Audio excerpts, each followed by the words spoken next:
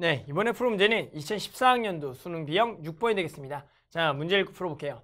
자, 문제는 좌표공간에서 두 점, 어, 5,5,a와 b 0,0,3을 지나는 직선과 이 x는 4, y-4, z-1이 서로 수직일 때 a 값을 구하라는 문제죠. 뭐예요? 두 점을 지나는 직선과 이 직선과 서로 수직이다. 그럼 우리 뭐야? 두 직선이 수직이라는 것은 좌표 평면에서는 기울기곱이 마이너스 1이지만 좌표 공간에서 두 직선의 수직이라는 것보다 두 직선의 방향 벡터 길이가 수직이다. 즉 내적이 0이다. 이렇게 구하시면 돼요.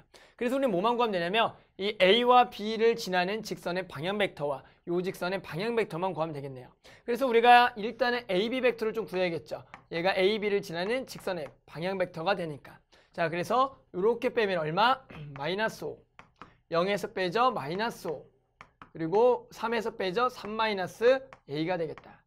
이게 AB를 지나는 직선의 방향 벡터고요. 그럼 이제 D 벡터는 우리가 요 직선의 방향 벡터를 쓸게요. 그럼 얘가 1, 그리고 여기가 마이너스 1, 1이 되겠다. 됐죠?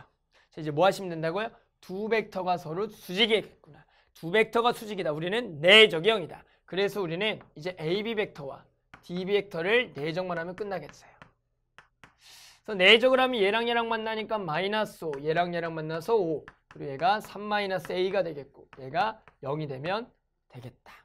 됐죠? 결국에는 얘가 계산돼서 a는 얼마다? 3이다. 이렇게 구할 수가 있겠습니다.